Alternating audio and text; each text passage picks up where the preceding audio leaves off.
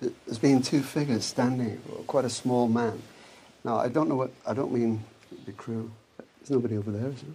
No. In the corner Um, now. This was um, a small man who looks sort of clerical. Could have been a, a priest or something. Um, I don't get a menacing feeling from him, but there is somebody, there's somebody else with him who seems to be quite malicious, quite um, Who's tapping?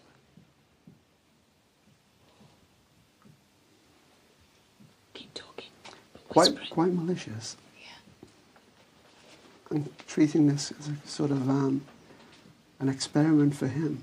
Do you mean an Yeah, experiment? so for I think he would wait his opportunity and um, do something to, to either frighten us or, Okay. or to harm us in some way. Do you know this man's name? No, I haven't got his name. Try and communicate with us, the man that means us harm. There you are, tapping. Use your voice, please, sir. I was thinking this. Sorry, there's a ras- sorry, Billy. There's Sorry. a rasping sound now. And we've had that on, I think, night two. You had that.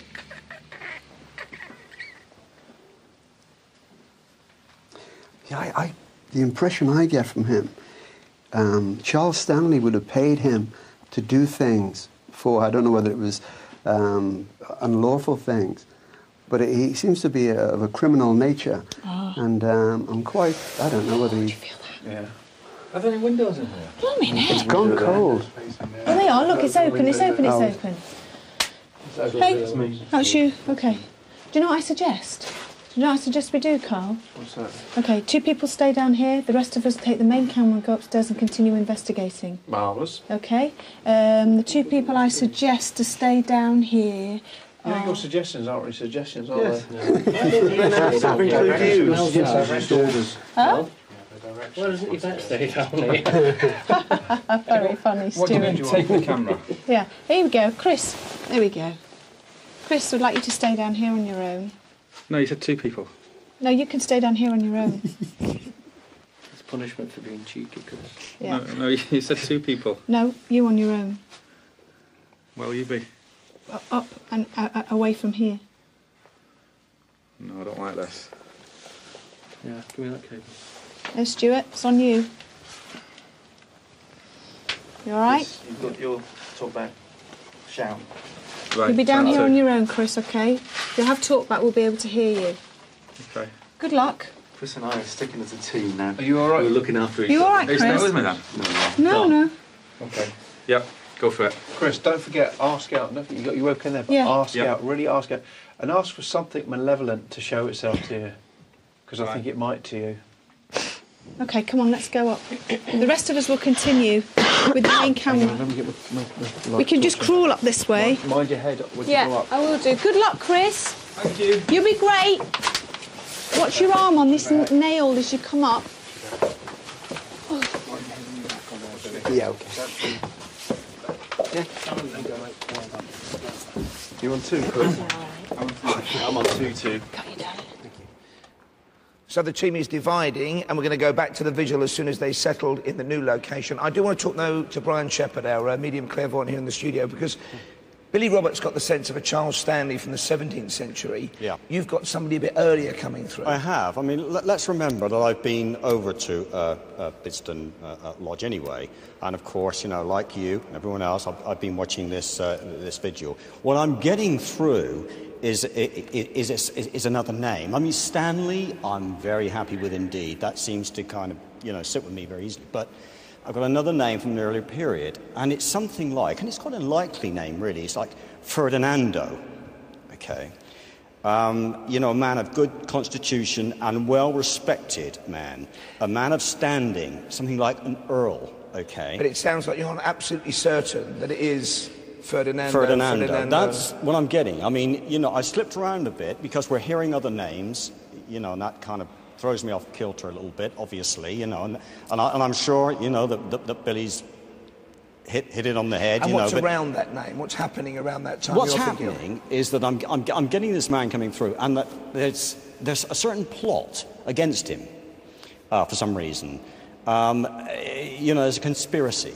A conspiracy what, involving, you know, getting rid of him. He's in someone's way. He's upset someone. These someone and once again, this thing where the women are creeping in, I believe uh, are witches. It's witchcraft. Somehow they're trying to get do away with this gentleman through the use of witchcraft. Um, and poison comes into my head. Poison in terms of, and another, and another little phrase, another uh, true morals.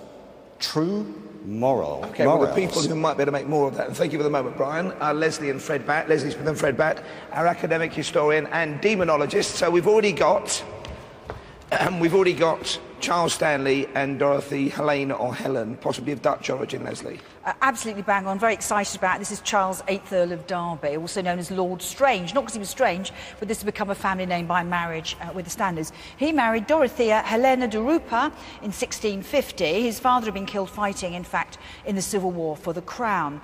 Helena de Rupa was described comfortably by her mother-in-law as um, Delilah because of of, her sexual behaviour. Because of her sexual behaviour. So, in fact, that's absolutely bang on. We can move immediately now to Ferdinando. He was the fifth Earl, um, and he was actually um, a very powerful and dramatic figure. Isn't that an odd name for an Englishman, Ferdinando? But he was. Uh, so he was Ferdinando again, and he was, in fact, killed at 38 years of age, only seven months.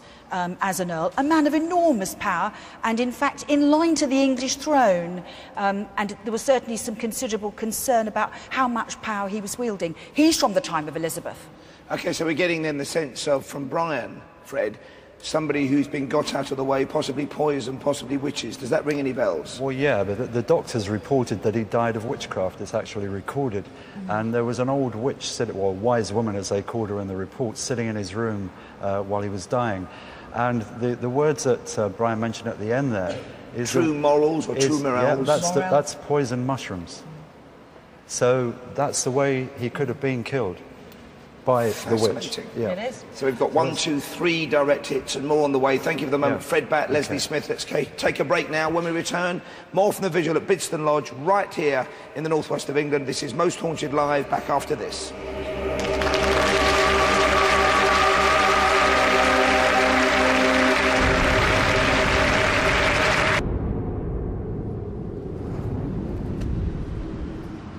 Welcome back to Most Haunted Live. The search for evil in the northwest of England continues, and we have based ourselves here in the magnificent surroundings of St George's Hall on Merseyside in Liverpool. Yvette Fielding and the team are not too far away. They're carrying out tonight's vigil in search of night terrors at Bidston Lodge. But right now, it's that time when I extend to one audience member the icy hand of invitation.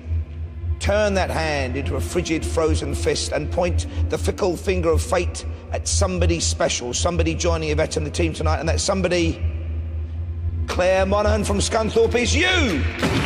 Well done, Claire, being whisked away now to tonight's vigil location by Helen, an enthusiastic amateur Egyptologist with a special interest in the pharaonic bloodlines of racing camels.